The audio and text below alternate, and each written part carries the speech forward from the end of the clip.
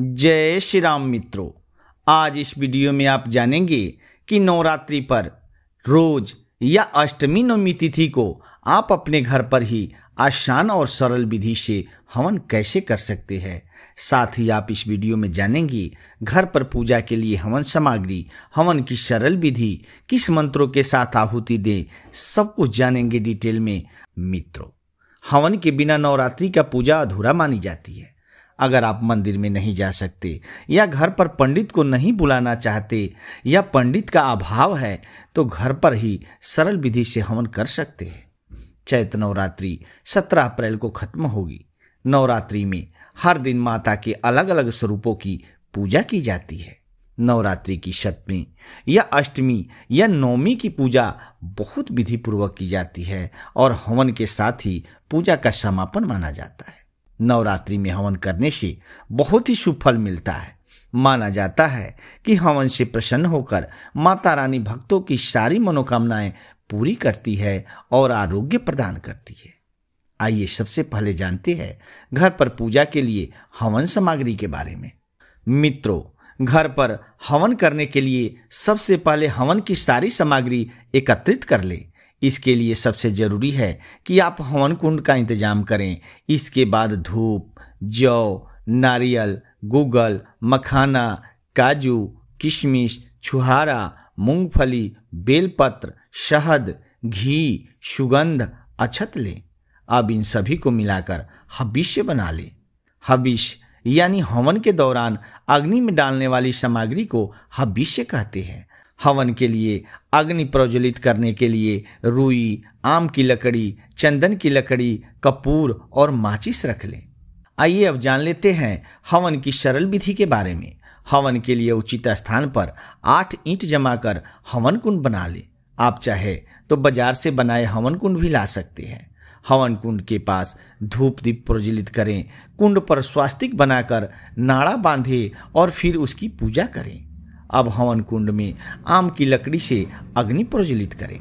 अब हवन कुंड की अग्नि में फल, शहद, घी, काष्ठ इत्यादि पदार्थों को मंत्रों के साथ आहुति दें। सबसे पहले ओम अग्न्याय नमः स्वाहा बोलकर अग्नि कुंड में पदार्थों की आहुति दें। ओम गणेशाय नमः स्वाहा। नाम से आहुति दे। इसके बाद सभी नवग्रहों के देवताओं के नाम की आहुति दे। इसके बाद कुल देवता और आस्थान देवता की आहुति दे। इसके बाद इन मंत्रों का जप करते हुए आहुति दे। ओम अग्नि नमः स्वाहा। ओम गणेशाय नमः स्वाहा। ओम गौरियाय नमः स्वाहा। ओम नवग्रहाय नमः स्वाहा।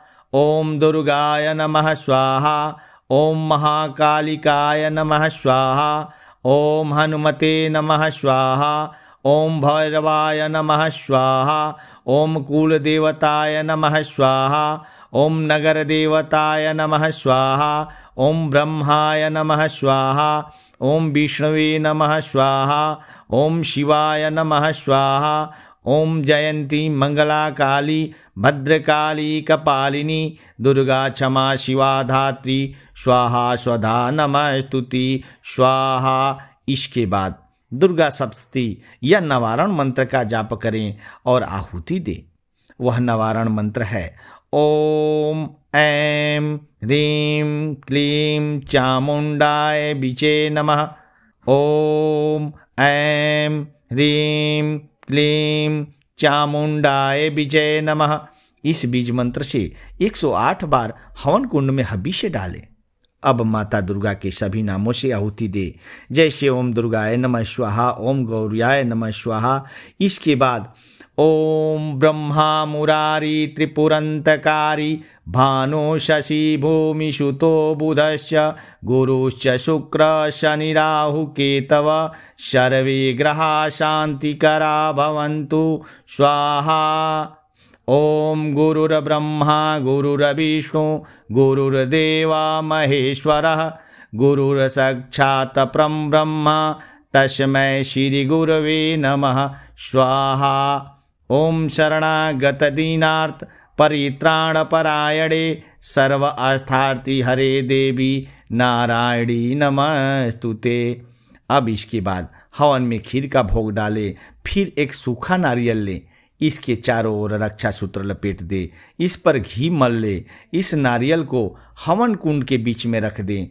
अंत में बचा हुआ हवन धूप को ऊपर से डालकर इस मंत्र को बोलें, ओम पूर्णमद पूर्णमिदम पूर्णात पूर्णमुदच्यते पूर्णस्य पूर्णमादाय विशेष्यते स्वाहा का जाप करें और यथाशक्ति दक्षिणा माता के पास रख दे। अब परिवार सहित आरती करें, हवन संपन्न करें और माता से क्षमा मांगते हुए मंगल कामना करें। और हवन का भभूत। सभी लोगों को लगाएँ, हवन पूर्ण होने पर कन्या भोजन करवाना चाहिए। विस्तार से दुर्गा पूजा हवन विधि देवी भागवत पुराण में बताया गया है कि दुर्गा सप्तती के सभी श्लोक मंत्र है। अगर आप विस्तार से हवन करना चाहते हैं तो कवच, कील अर्गला का पाठ करते हुए दुर्गा सप्तती के तेरह अध्याय के सभी मंत्रों को बोलकर, स्वाहा कहते हुए हवन कुंड में आहुति दें। मित्रों, यह जानकारी आपको कैसा लगा? अगर आपको अच्छा लगा हो तो प्लीज़ चैनल को सब्सक्राइब करके एक लाइक ज़रूर करना। धन्यवाद।